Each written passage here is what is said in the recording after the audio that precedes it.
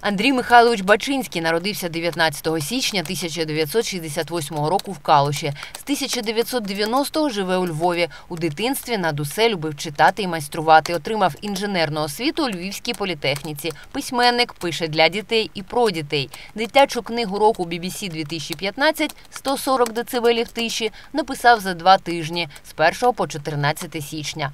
Досі любить запах старих книжок. Виховує трьох дітей, двох синів і доньку. Вважає, що Україні треба більше друкувати своїх книг. Вітаю глядачів 9 каналу. Знову на екранах проект Пані та панове. Мене звати Ольга Владімірова. І сьогодні знову книгарня є. Запропонувала нам, нам цікавого гостя. Це пан Андрій Бачинський. Доброго дня. Добрий день. Вітаю вас. Вас представляти як? Як письменника чи як дитячого письменника? Це взагалі важлива оця ремарочка дитячий. Ну, е, вже зараз просто настільки ще й розмилось поняття, що таке діти і що таке література для дітей. Є такий термін, як картонки. Кажуть, це дійсно дуже дитячі книжечки, де от різні ілюстрації, казочки, такі грубі сторінки, щоб дитина могла там і поламати її, там і якось так. То оце, ну, мабуть, дійсно такі дитячі. Для малюків. Для малюків. О, для малюків. А от е, якщо брати література умовно для 12, 13, 14 років, то якщо сказати, що це дитяча, то ті діти умовно образяться. Вони вже себе дітьми ніяк не вважають. І вони навіть не люблять, коли їх підлітками називають. Тінейджери.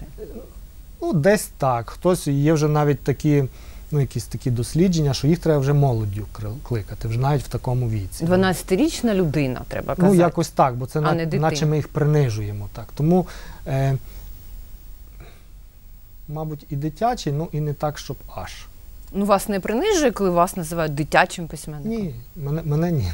А ви в 12 років е, пам'ятаєте себе? Чудово. Ви були дитина? Ви б образилися, якби вас назвали дитиною? Е, ні, тоді ні. Тоді ще якось так не було. Можливо, тому що в 12 років ми прекрасно дивились Катрусин кінозал е, в гостях у сказки, і це нас влаштовувало. Нас влаштовували ті книжки, що були. Ну, бо інших ми не мали просто. Зараз все-таки дійсно є акселерація. Діти значно, якщо брати нас, 12-річних і сьогоднішніх, вони знають чогось на порядок більше, чогось менше, але ну, в чомусь вони вже є більш розвинуті. То ми були слабші, Ні, ми були інші. інші, просто інші. А що було покраще, ніж зараз, от на вашу думку? О, копнули. Ну, навіть не знаю, що пока. Ну, можливо, то, що ми більше спілкувалися між собою, очевидно. Е, Наприклад, я зараз своїм дітям, яким у мене троє дітей, двом 15 і одній 11 років. І я їм, як щось розповідаю про ті часи, щось їм виглядає смішно, кумедно. І коли я розповідаю про нашу улюблену гру в дитинстві в пекаря, яку грали, коли зима закінчилась, клюшки всіх поломані, і я їм дуже довго пояснюю, що це таке, і наскільки це було драйвово і класно, вони вважають, що ну, ну все-таки на комп'ютері цікавіше. У вас двійнята? Є двійнята старші, так. Ваше дитинство було щасливим, на вашу думку? Ну, думаю, що так, попри все. Ми не мали можливості кудись аж дуже їхати, але ми теж десь їздили. Для мене, наприклад, спогади, які я пережив там, будучи десь в молодій гвардії чи в Артеку, вони набагато яскравіші, ніж спогади, коли я вже в зрілому віці був там, умовно, в Парижі, чи в Римі, чи, чи ще десь. То просто було цінніше, мабуть. Цінніше, якщо брати по шкалі щастя, яке отримуєш в той момент, то тоді було більше воно. Ви пам'ятаєте свою першу вчительку? Чудово. Як її Вона, звали? вона була страшенно е, автократ такий, дуже її звали Надія Олексіївна, вона, вона завжди з медалями ходила. Е, і, і ну, її неможливо забути, тому що це щось таке, такий Сталін в юбці. От така вона в нас була. Вона вас любила? Ну, напевне, по-своєму, тому що вона. Ну, вона своя метода була, вона могла когось послати з зошитами до себе додому, там, дати ключі від квартири і навмисно десь підкласти там кілька лимонів, а в той час це було в дефіцит, покласти десь там кілька лимонів чи е, кубку цукерок. Перед тим вона їх порахувала, звичайно. Але так поставила і когось зі школи, ой, я забула зошити, іди принеси. Давала ключі від своєї квартири, це недалеко. І хтось йшов, приносив, вона обов'язково вечором перераховувала, чи всі є цукерки на місці. Якщо не було, то на другий день була виховна година, коли цього викликали. Ось я йому повірила, я йому довірилась. Нічого я собі. не дорахувалася. Це був стид позор на цілий клас, це впливало дуже сильно. На зараз, напевно, дітей би так це не вплинуло, а тоді впливало. Дуже сильно впливало. І ну, от я навіть зараз згадую, через 40 років я ці речі згадую, як воно звучало. Про це можна написати книжку. Е, Як ми десь в дворі грали хокей, і навіть в той час, там 9-10 років, ми там вже якісь там матюки в нас пролітали, все. А вона в цьому ж будинку жила, вона умудрялася з балкона таким мікрофоном, бабінним магнітофоном, той мікрофон отак витягала на швабрі, так от і записувала все, що ми кричали, і потім на уроці це все прокручувала. Це персонаж. Це персонаж, насправді. Вона це такий, тобто її забути важко. Коли ми з вами спілкувалися до ефіру, ви сказали, що ви любите запах старих книжок. Так. Звідки ця любов? Е, Моя мама колись ще до мого народження працювала в бібліотеці, вона мала бібліотечну освіту, потім вчилася в педагогічному паралельно. І я фактично, моє дитинство, от в кожної людини є запах дитинства. Залежно хто де жив, в якому середовищі, комусь це запах бензину, комусь це запах трави, сіна, комусь там е, стружки дерев'яної. Для мене це запах бібліотеки старої, того і пилюки такої. Я так виріс, і тому я коли чую, коли заходжу в стару бібліотеку, то в мене ну, якось так нірвана зразу така настає, я занурююсь. Тому е, запах тих старих книжок він щось. Я ніколи старі книжки не викидаю. У мене дуже багато, кілька тисяч книжок, з яких половина, якщо не більше таких, що дійсно вони вже як література може і не представляють якоїсь цінності, але Це артефакти. артефакти якісь мої, знову ж таки, зі мною суто пов'язані. Пам'ятаєте е, якусь улюблену книжку в дитинстві? Чотири танкіста і пес це без сумніву. Це в мене була улюблена книжка, яку я читав разів 5 і 6. І коли мене зараз на зустрічах питають, я навіть її не можу порадити, тому що сучасним дітям вона і не актуальна, і незрозуміла буде, і по динаміці, по руху ну, вже не сучасна. Там частота зовсім інакша. Для мене вона була страшенно динамічна, страшенно швидка, дуже така. А коли я вже дав своєму сину, який любить читати, порекомендував, що оце та книжка, з якою ох, він прочитав і так, щось ти, тату, Не той во. не то його. До речі, я теж помітила. От ви просто зараз е, говорите про те, що я помітила теж по своїх дітях. Е, я любила е, всадника без голови, я пам'ятаю. І мені здавалося, що це страшенно динамічна книжка. Знов таки, я спробувала читати їм вголос, я її відклала і сказала: перепрошую, не пішло. Тому що дійсно е, і література зараз динамічна зовсім Змінилося. У по-іншому. мене, наприклад, теж одна з улюблених була Робінзон Крузо. І коли я в, після 4 класу влітку в якомусь таборі був, а табір недалеко, ну, Франківщина, звичайно, гори річки, десь недалеко від річки, я втік з табора. ем, Під час тихого сну, десь там на річку, в брід перейшов на якийсь там острівець, і там сидів на такому дереві поваленому і читав Робінзона. Я відчував сам себе тим Робінзоном. І десь була в нас теж така якась бесіда у Львові, там письменників, і хтось теж порадив Робінзона. І я пам'ятаю, що Мар'яна Савка, головний редактор власне видавництва Старого Лева, каже: ага, динамічна книжка. Один персонаж, який сидить 20 років на острові і сам з собою розмовляє.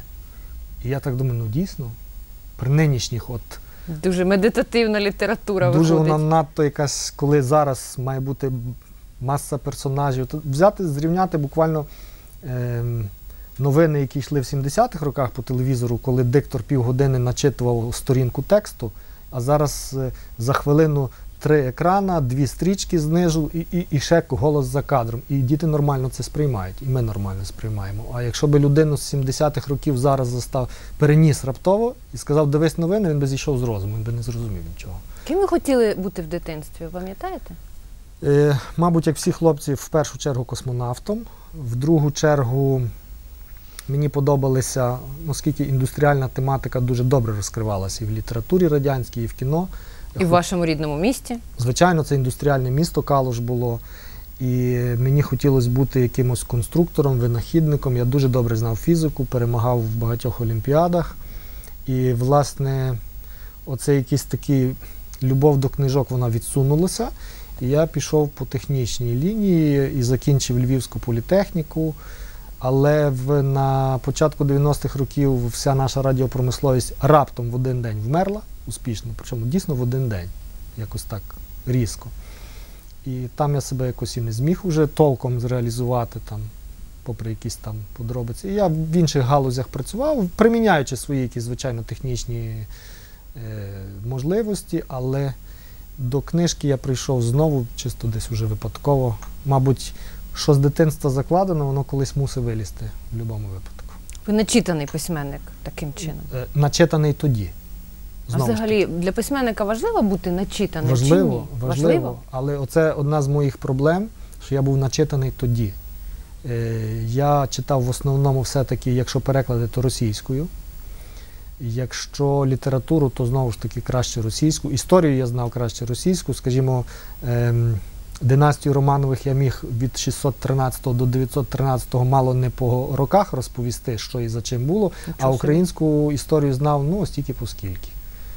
От, е, ну так вчили в нас тоді, так вчили Ну, більше. це віяння часу були Так, насправді. І насправді українську література для мене обмежувалася десь там рівнем е, ну, Коцюбинський, десь отак, от там Ну, Фран- непоганий рівень. Франко, а вже от навіть е, розстріляне відродження, це насправді це просто найвищий пласт літератури ХХ століття, який може бути, для мене він був незнайомий. Абсолютно незнайомий. Я його для себе почав відкривати буквально останні роки. Там уже там Домонтомиш Хвильовий, там Курбас і так далі. Ці імена для мене ще років 10 тому взагалі нічого не говорили. І в цьому, наприклад, я і моє покоління сильно програє від того ж покоління, уже яким до 40, які вже в 90-ті мали можливість вчити, ну, щось хоча б вчити. Можливість мали, але вчили, то ще питання. Ну, ну, вже Ну, хто як. Таке, таке, Так. да, таке буває, трапляється. От ви кажете, що письменник має бути начитаним. Ви встигаєте читати, коли вам треба писати. Е, Ну, я пишу не так багато. І я, ну, напевне, на щастя, не мав в мене такого питання, як з кимось там контракт, що я мушу тоді-то, тоді-то, до такої-то дати, там то-то написати. Бо є письменники, які деколи зв'язані певними, якщо вони особливо серію якусь пишуть, Мгм. вони є пов'язані. Ви не раб видавництва Ні, в жодному випадку, і це мене тішить. Ось що я можу писати, коли мені просто прийде в голову якесь натхнення. Ну це правда не, не факт, що воно потім комусь буде потрібно, крім мене в той момент, але ну, вже як є. І тому я пишу собі повільно, коли мені є бажання. Часто натхнення. І часом мені почитати цікавіше, ніж пописати. Часом музику послухати, часом кіно якесь класне подивитися. Ви робите в житті те, що ви хочете зараз. Ну, майже. Ви можете собі це дозволити? але, але вже десь можу. Так. Майже. Чогось не вистачає? Щось ну, не вистачає, бо зараз ну, настільки реалії міняються щодня. Наприклад, якщо умовно там е, років два з половиною тому я там ну, по якихось там своїх питаннях співпрацював з хлопцями в Донецьку, Мгм. і раптом вони опинилися взагалі десь там, і, і та співпраця впала, зразу все, над чим ми працювали. Там, ну, це з промисловістю було зв'язано, якісь Мгм. проекти. І, і вже раптом такий цілий пласт відпадає, вже починаєш шукати щось інше там. Тому, на жаль, не, не можна сказати, що вільний так от. Мгм. Я розумію, що вас не може не зачіпати те, що відбувається зараз в Україні, і в Донецьку в тому числі. Е, Але ваш читач все-таки в першу чергу це діти і люди, в яких є діти. Як ви думаєте, отакі теми, вони е, їх потрібно якось адаптувати для, для підлітків, наприклад? Потрібно Воно, безумовно. воно буде якось е, затребуване пізніше. Я, я думаю, і не рік, і не два, і не десять. А буде, буде, буде і буде. Але це, напевне, той випадок. Е, Ну, їм же ж е, не підійде така книга, як аеропорт, наприклад. ні, Це інша річ. ні, ні. Їм цікаво читати як, Зараз, е, про про таких, війну- як вони, так? Е, В цих обставинах. Щось шукати якусь відповідність із своїм віком, якоюсь зрозумілою мовою. У мене була от проблема попередня. От сьогодні я в Дніпропетровськ приїхав з іншою книжкою, але попередня книга називалася Детективи в Артеку, Так. е, де події відбувалися в Артеку в Криму, в справжньому Артеку. Це теж моє дитинство, мої спогади вже адаптовані під сьогодні. Дуже така е, смішна, цікава пригодницька Мгм. історія, легка дуже. І книжка вийшла в друк уже фактично Там навіть так цікаво. Сьогодні мені Мар'яна Савка дзвонить, Андрій, ми завтра починаємо її вже редагувати і готуємо до випуску, а післязавтра починаються зелені чоловічки в Криму. Мгм.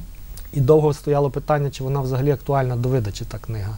Все-таки потім її видали. І е, спочатку мало бути продовження, воно планувалося. А герої книги є один хлопець з Луганщини, з міста Ровеньки, одна Мгм. дівчинка зі Львова, хлопчик з Києва і хлопчик з Вінничини. І раптом, коли це все розлетілося, розпалося, то думаєш, а як же зробити продовження? Коли все, вже нема, ну нема. Воно все розпалося зовсім не так, як в тій книжці. І воно мене муляло два роки. І часом е, діти запитували на зустрічах дуже часто, коли буде ж то продовження, тому що там три крапки в кінці. Коли буде продовження? Ну, воно коли мусить буде... бути, мабуть, не зараз просто так. Ну, воно вже написано. Буде. Дійсно, дійсно, от зараз, буквально місяць тому написано, і м, теж такі в мене трошки є сумніви, бо не можна написати про наш час і не згадати про те, що там робиться, і в той же час не можна дуже і в дитячій літературі писати, Дуже занурюватися. занурюватись, тому що зараз це в нас емоції. Взагалі, як на мене, я завжди так думала, і я продовжую так думати. Дитяча література, е, все-таки будемо називати її так, не, не малюча, а саме дитяча. Так. Так. це найвищий пілотаж взагалі в літературі. Тому що тут е, дуже важливо не сфальшувати, дуже важливо не схибити, дуже важливо вибрати вірний тон, не підіграти, не, не, ну, як, не бути модним надто. Так? Е, Ну, тобто аудиторія дуже вибаглива, ну, як, чутлива. як на мене. Чутлива, так, чутлива. Вона там розуміє, це, це про жизнь чи не про жизнь, знаєте? І Що ви про це думаєте? і Як ви взагалі в цьому Ну, живете? Це, ну, Це як важко. на мене, це дуже складно. Це важко. І напевно, якби я не мав вдома от таких три тестових взірця, е, на яких це можна, яким можна розповісти, дати прочитати, самому їм прочитати, і як вони на це реагують, вірю, не вірю, то тоді вже можна виносити на інший суд. І Хтось може заперечити з таких поважних письменників, що та що там дитяча література, там немає якихось глибин, там от все якось Мгм. так на поверхні. І десь воно так є, десь так є. Е, Треба щось простіше писати. От мені навіть за цю книжку 140 децибел тиші дорікали часом, що ти взяв там таку серйозну тему, яка тягне на роман Достоєвського, а розповідаєш її дуже по-дитячому. Ну не можна дітям не розповісти про це, але в той же час і не можна так розповісти, як це би розбив. Треба просто враховувати те, що у дітей інший досвід, інші знання. Так. Не треба Ну, робити якихось відсилок до там античної літератури, наприклад, або до якоїсь там філософії, яку може там зрозуміти вже. Звичайно, дорослих. треба не відлякати їх. Треба не треба якоюсь такою знайти ту просту мову. Тут в мене проблем нема, бо я спілкуюся з дітьми. Ну і дорослі не дуже люблять, коли зноски і треба е, перекладати щось, наприклад. І діти не дуже люблять, так, щоб багато дуже пояснень. Бо є такі Я книжки, коли так. пояснень тут внизу більше, ніж тексту. ніж текст. В мене з дитинства, при всій моїй любові до книжок, я терпіти не міг ну, когось там на кшталт Паустовський Прішвін, в кого опис природи займає більше, ніж весь сюжет там раза в три. І тому це вже видно якийсь такий комплекс від дитинства, що цього в мене має бути менше. Хоча за це мені теж часом дорікають. Надто динамічно, надто швидко, але дітям подобається. Ваші перші читачі це ваші діти, так? Завжди так. Не завжди. З цією книгою так не було. Цю вони прочитали вже по факту, як з'явилась книга. Угу. Що ви від них чекаєте? І взагалі, чи, буде, чи боїтеся ви їхньої оцінки? Не боюсь, чек- просто чекаю, не боюсь. Чекаєте оцінки? Так. А бувало таке, що вони сказали, ну тату, Ні, бувало, що Не туди несподівана оцінка була. Коли, наприклад, я дав Остапові сину своєму е, детективи в Артеку, і він десь після півгодини прочитання почав дуже сміятися. Я зайшов до нього і кажу, стоп, зупинись, поясни, де ти там смієшся, там такого нічого нема смішного. Він мені якийсь там кусочок зачитує, кажу, хіба це смішно? Він каже, це дуже смішно. Тобто, от якісь такі бувають несподівані речі. А бувають речі, коли там в якійсь книжці я міг щось написати, мені здавалося, що це так правдиво, так це, а дитина, та, котра менша Оленка, вона раптово лякалась, починала плакати. Я розумів, що тут я переборщив. у вас е, один син і дві доньки? Так. Син і донька двійнята, і ще донька молодша. Ось. Хто е, більш е, жорстоко ваш, вас судить? Син? А він більше читає за усіх Ого. на диво. Чому на диво? Ну, я чогось, чогось так думав спочатку, що дівчата будуть так. А хлопчик все-таки більш він і комп'ютер любить, але він читає, багато читає. Ну, Це, напевно, якийсь ген передався вже. Ну так, є в кого. Є в То кого, кажуть. так. Е, 140 децибелів тиші. Це ваша на сьогодні остання книжка. Так. Вона ще пахне не так, як ви любите. Так, так. Новий запах не любите? Ні. Ну, е, дочекаємось, я думаю, ми з вами, коли вона буде у когось там у бібліотеці і е, пахнути. Дитяча книга року BBC Україна. Це висока оцінка, е, поважна така. Як ви її відчуваєте? Вже ви її народили, вже віддали в люди. Так? Як ви зараз на неї дивитесь, що вийшло? Е, е, Ну, я ще досі перебуваю в шоці від резонансу. Я не очікував. Це текст, який в мене вихлюпнувся дуже швидко. Буквально до двох тижнів вона була повністю написана, але виносилася дуже давно, бо дітей глухонімих я знаю з Калуша, там є два інтернати, там таких дітей багато, їх можна зустріти. Ми з ними пересікалися неодноразово. Тут ми з вами, до речі, схожі, тому що я в Дніпропетровську живу в живу в такому районі, де неподалік школа для глухонімих. І я з дитинства бачила їх дуже багато. От, ви їх бачите. Бачу і навіть іноді розумію вже. І е, було, було так дивно ем, в моєму житті дуже часто так траплялося, що до мене підходили глухонімі, діти чи дорослі починали мені щось, щось роз- розповідати. Да, я ніколи не могла зрозуміти, чому вони саме до мене підходять, а мені пояснили, що ну бо ти на них уважно дивишся, а вони е, розуміють, коли є до них увага до таких людей. Власне, мабуть. вони розуміють, як ніхто, тому Мгм. що е, у нас є органи чуття, так, і ми тими органами все сприймаємо. Коли людина якогось органу позбавлена, то загострюються всі інші. І спілкуючись з ними, я не раз помічав, що з ними сфальшивити. Ми між собою можемо, ви можете мені сказати, книжка класна, але в той час так посміхнете, що я зрозумію, що але ліпше б ти її не писав. Ось в них так не пройде. Вони по міміці зрозуміють все. І зрозуміють дуже чітко, просто в них немає метафор. Е, Жестова мова дуже пряма, лаконічна і нема півтонів. Добре, погано, біле, чорне. А дуже добре, але трошечки це в них уже так не то або сприймають, або не Або сприймають. не сприймають. Ну, так. І так само вони відчувають, бачать по людях, чи їх е, чи дивляться на них як щось на щось таке інородне, отак, чи дивляться, бо дійсно ну, Хочуть зрозуміти. хочуть зрозуміти. Так. І тоді вони йдуть на зустріч. Вони насправді вони дуже відкриті, вони дуже, якщо потрапити до них в їхнє середовище, в інтернат такий, там настільки світла аура, настільки там класно, з ними просто. Якщо є, звичайно, хтось, хто допоможе спілкуватися, якийсь перекладач, е, дуже шумно в них, здавалось би, а глухонімі, там насправді шумно до неймовірності, бо вони не чують, що вони шумлять. Вони як в їдальні збираються, починають тими кріслами гаратати там тим цим. Їм здається, що це дуже тихенько все. Чи в класі, коли вони гремлять там. Ну, вони ж цього просто не чують. Так. Але вони дуже світлі, дуже такі симпатичні. І найбільша проблема це коли вони виходять з цього інтернату і потрапляють вже в наш світ. Умовно нормальний, для який для них навпаки зовсім ненормальний. І коли є несприйняття, коли є нерозуміння, бо легше відмахнутися від нього, легше дати йому тих тисячу гривень тої пенсії, сиди вдома, не рипайся нікуди, ніж постаратися знайти ті галузі, де їх можна їхні унікальні здібності знайти їм застосування. Тому що це люди дуже зосереджені, їх нічого тут от не відволікає. Вони дуже добрий мають зір, вони дуже добрі руки мають завдяки тому, що все Чутливі. життя спілкуються тими руками. І якісь, от я, наприклад, знаю, що найкращі зубні техніки це глухонімі. І в нас кілька є коледжів медичних, де готують тільки з них зубних техніків. Ви про це говорите на зустрічах з А читачами? ж? А мені зустрічі цікаві, власне, не для того, щоб розказати, що я класний письменник, я таке написав, а для того, щоб десь якусь і увагу звернути. І, власне, увагу звернути не таку, що от пожалійте, принесіть їм там мандаринів чи грошей. Ні, їм це не потрібно. Полюбіть їх. Полюбіть і знайдіть ту галузь, де ви від них щось візьмете.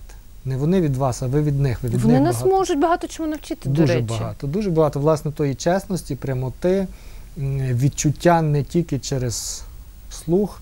Я десь намагався про це і в тій книжці написати. Вже ну вже не знаю наскільки хто як зможе що побачити в тому тексті, але ну десь мені так хотілося це показати. Ну, ця книжка майже вийшла як подарунок вам, самому собі до дня народження, так? Десь приблизно. Ні, ні, вона вийшла ще в серпні. Ні, дописалася. Ви ж її писали А, в пис- січні Так, так, писав так. І народилися ви в січні. Так.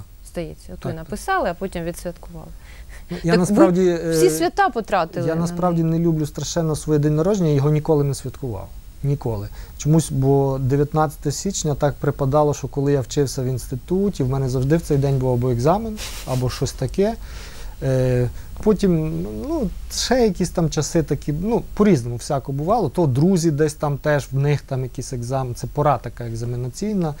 І потім так з часом склав, що я його ніколи не відмічаю і, якщо чесно, щось не люблю. Я не вважаю. Ну, ще й свято припадає там. Ще й свято так таке дійсно, якось. що десь там роз'їжджаються, таке релігійне свято. Ви, ви витратили на це січень, е, якраз ті, ті дні, коли люди, як правило, п'ють, їдять, Так, гуляють. так, А Андрій Бачинський сів і написав книжку. У мене ще теж такі досить складні відносини з Різдвом. Я Різдво чомусь, чомусь от це не моє свято.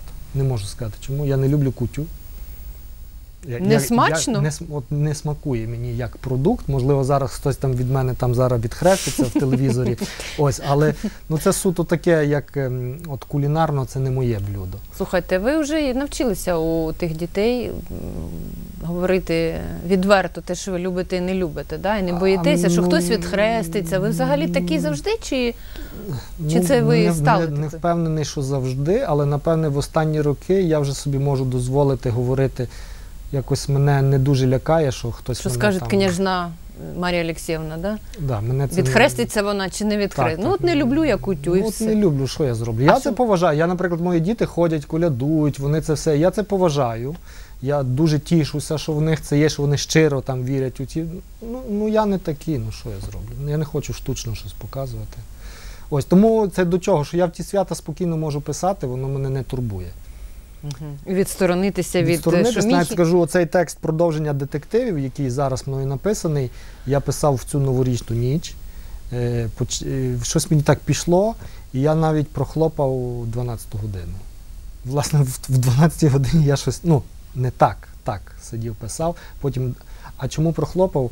Бо завжди в 12 починають салюти стріляти, а цього року не стріляли. У Львові категорично це було заборонено і було повна тиша. Це правильно, на вашу думку? Ну, багатьох це пригнічувало. Що їх нема. Е, так, але а когось дійсно, пригнічувало, що вони є.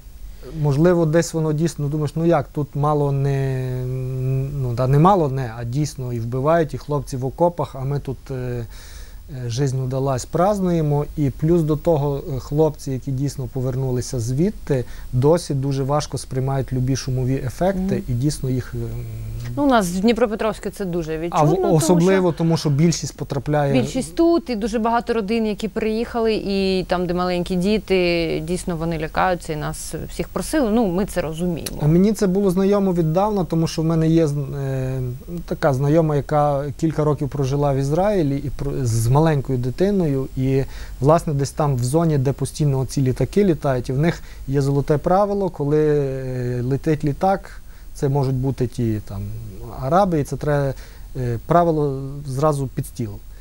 І коли вони вернулися у Львів, купили будинок недалеко від аеропорта. І син її, якому було на той час років 5, вона його десь цілий рік відучувала. Мгм. І він кожен день, коли летить літак, він все кидав Ну, це автоматично. на автоматі. Це- це Тому правильно. я розумію цей синдром післявоєнний. І напевно ці салюти це було правильно, що заборонили. Чому ви стали все-таки дитячим письменником? Тобто, чому ви пишете для дітей, про дітей? Як це так сталося? Я Чи думаю, ви що для собі не статистично вибирали, що ага, дорослих письменників і так багато, а дитячих менше? Я не впевнений, що я в дорослій літературі можу сказати щось більше, ніж вже сказано. Ну ви ж не пробували? Не пробував, але ну, я досить самокритичний до себе. Я розумію, що я не є якийсь там філософ такий по життю, що я скажу щось більше, ніж дійсно сказано. І в дитячій теж, можливо, так не думав, але коли діти почали підростати, я зрозумів, що нашої дитячої літератури, якоїсь такої пригодницької, такої її немає. Просто от років 10 тому її дійсно ще не було. Фактично не було. І коли я з дітьми почав десь трошки їздити, подорожувати, по Львівщині багато замків цікавих, є різних там історій. І коли ми їздили, я їм щось вигадував, розповідав. Потім вони вимагали якогось продовження, і воно мимоволі виросло в якісь такі історії, які потім опинились на папері. потім опинилися в видавництві, і це було прийнято дуже позитивно. І я того не знав, але сказали, це треба, у нас цього мало. Е, і так воно почалось. Дитяча література. Зараз уже, на щастя, є значно більше. Е, Нещодавно розмовляв з Миколою Шейко, це директор видавництва Старого Лева. І він мені каже: знаєш, три роки тому мені що би не принесли, я готовий був друкувати, тому що портфель видавничий просто порожній був. Зараз приносять часом і дуже добрі, і хороші речі, але я, розумію, я краще, розумію, да? що на два роки вперед в мене вже все розписано. Це чудово, Це, це, чудово, прекрасно. це дуже чудово, бо є вже з чого вибирати. Ну так, і до речі, раніше було більше перекладної літератури. Гарні, гарні були переклади, але це все-таки була іноземна література. Тепер є своя, є що- з І чого навіть в такому жанрі соціальної літератури про дітей з якимись особливими потребами, де треба не тільки посміятися і там Ну, тобто не тільки розважальна не література. тільки розважальна, теж вже з'являється. От е, в Леві зараз є ціла серія книжок, це і 140 децибелів тиші, і метелики в крижаних панцирах Оксани Радушинської з Хмельницька, яка сама є з дитинства на інвалідному візку, і вона там пише про таку дівчинку. Це дуже пережитий особистий твір, тому дуже вартісний. Е, Дзвінки Матіяш. е, Марта з вулиці Святого Миколая теж дуже така книжка. Е, Цього вже, вже починає з'являтися. Ну, це тішить, звичайно. Але ви хитрий, тому що я так думаю, що е, книжку для підлітків читає вдвічі більше людей, тому що читають і батьки. Тому що діти не читають дорослу літературу, ну ще просто, да? вони читають Вам свою. так здається. А батьки читають і своє, і ну, нормальні батьки. Мені так здається, що вони читають те, що читають їхні діти. То у вас аудиторія вдвічі більше, ні? Ну, значить, я хитрий. хай буде так. Ну я так думаю. ні. Хоча Чи ні? насправді, от щодо, про це не думали? що вони читають, Хто вони? Діти чи оті батьки? діти 12-13 років, що вони наче не читають дорослу. Е, Була в нас десь з півроку тому літературна студія, така всеукраїнська для дітей. І мене запросили ну, якусь невеличку лекцію їм від себе прочитати, як від автора. І я їм от розповідаю про письменників, які пиш, пишуть по-різному, пишуть багато. Кажу, от, ну от колись ви, а діти в основному 7-10 років. От ви колись доростете, там будете чуть доросліші. От є такий один у нас в Америці, американський найвідоміший зараз письменник, який найбільш видаваний, найбільш таке ім'я на слуху. Це такий, ну, ще не зараз, але колись будете Селінджер? читати. Ні, Стівен Кінг. Ага, Кінг. Стівен Кінг. І діти сидять, знаємо, читали. Угу. Я думаю, боже, як у 8-9 років читали Кінга. Ну, Ну, для мене це аномалія. Але видно, діти вже зараз якось так підростають, що вони охоплюють якісь такі. е, Ну, щось типу про Омена якогось вони ну, щось, читали. так, щось таке. уже Ну, таке вони беруть. да. І, можливо, просто бо дійсно в нас час не було таких книг. А ви вважаєте, що Кінг це така доросла література? Е, ну, вона різна. У нас просто погані переклади його. У нас жахливі переклади. Реально. А вас перекладають вже на інші мови? Ні, і думаю, що не будуть, тому що я, Як я дуже сумніваюся, що це комусь там цікаво. Такі Чому проблеми, які показуються тут, там вже давно пройшли. У них зовсім інші проблеми. Так хіба книжки видають і перекладають, щоб е, розв'язати якісь проблеми? А в, зараз в Європі дуже проблемна література. Угу. От в них оце це ми тільки доросли зараз до соціальної літератури. Вони це вже давно пройшли. Для них це давно не є щось таке. У нас, якщо був у нас тиждень тому круглий стіл для вчителів у Львові, запросили теж нас кількох е, письменників. І одна з бібліотекарок, таких провідних львівських Таня Пилипець, яка займається дослідженням літератури е, для дітей-підлітків, заікнулася, що зараз готується якась книжка, де е, вже в друку вона перекладна, в якій торкається така тематика, що хлопець з одної школи перейшов в другу, і там йому сподобався інший хлопець. І от як в нас прийнято про перше кохання говорити, це в нього от, власне воно Мгм. отаке. Що тут почалося? Тих вчителів їм дах зірвало просто. Вони не готові. Просто що і там що тільки не почалось, одна там, причому досить молода, їй років трошки за 30, вона. Я родилась від тата, від мами, я є жива людина, а ті, що з пробірки, це невідомо взагалі, що це за створіння. Угу. Ну і я думаю, що ну, значить, мабуть, ще в нас вчителі просто не готові. Вони не готові. І знаєте, я думаю, що вони е, бояться цих тем не тому, що вони власне особисто їх бояться. Вони просто не знають, як їх подавати, як з ними говорити е, з дітьми Так, про звичайно. це. І тому вони Швидше закриваються. так, так, так. А я думаю, що якби вони почали, то діти б їм допомогли, тому що діти, як на мене, підлітки, вони зараз набагато спокійніше підіймають ці теми, ніж дорослі. Напевно. Ми б їм допомогли. Ви б хотіли, щоб е, ваші твори або твір який-небудь увійшов в шкільну програму. Е, Є таке прислів'я, колись я його почув від Галини Малик, коли її Алю ввели в шкільну програму. Не пам'ятаю, хто з нею говорив. Ну, хтось говорив, її привітав, і вона так посміхнулася, каже: як хочеш письменник письменнику побажати щось дуже погане, то кажуть, а що б тебе в шкільну програму занесли? Бо, як правило, так склало, що тих, хто в шкільній програмі їх не хочуть читати, тому що те так викладають, що викликає якесь відторгнення, а навпаки читають тих, хто поза шкільною Мгм. програмою. Те, що нав'язують, не читають, це теж таки ти чисто по-дитячому. Якщо мені це нав'язують, то я це не буду. Хоча, наприклад, я зараз читаю багато творів з шкільної програми і просто балдію і думаю, блін, ну як же ж я колись того не відчував? Я вам більше скажу, я 10 років викладала українську літературу, і зараз я дещо перечитую і думаю, який кайф, який класний твір. Боже ж мій, я там е, хіба ревуть воли, як ясла повні, перечитала іншою людиною і думаю, яка класна історія. Але ж нам давали тільки оту соціальну якусь Ну, так, таке так, підґрунтя, так. і цю людську історію якось взагалі відквітувала. Тобто я би не проти, ну звичайно, це би десь тішило, е, щоб десь там внесли. аби читали. аби чита, чи навіть цей твір, так. Але знову ж таки при умові, що в нас зовсім по-іншому буде йти викладання. Методика, загалом методика викладання якась зовсім інша. Вона повинна бути якась популяризаторська, а не така завчально-дидактична. Ну, не знаю як. Ну, ну, мені здається, сучасна система не викликає бажання, от, щоб дитина хотіла читати. Хоча є вчителі, якісь самородки, такі, які дуже люблять цю справу, вони виробляють якісь свої методики і намагаються на позакласному читанні якось подавати це інакше. Різні є теж вчителі. А ви могли б повикладати хоч трошки в школі? Ой, не знаю. У мене мама 35 років викладала філологію, хоча російську, правда.